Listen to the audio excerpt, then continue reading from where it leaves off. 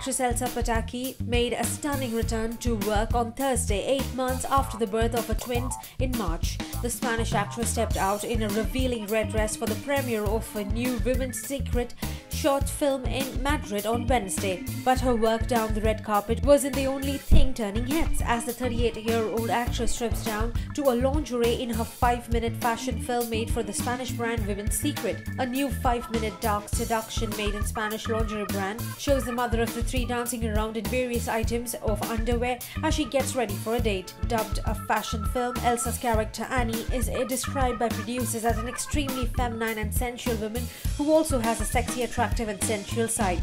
In something that resembles a scene out of Snow White, Elsa's character writes on the mirror in paint, Am I the fairest of them all? To which the mirror begins replying, perhaps, as she makes her way through each outfit. The shot ends with her about to take a bite from a lush red apple, also sent in her card package. The blonde beauty has had no trouble bouncing back to her pre pregnancy body since giving birth to twin sons Tristan and Sasha in March, and this video just proves it right.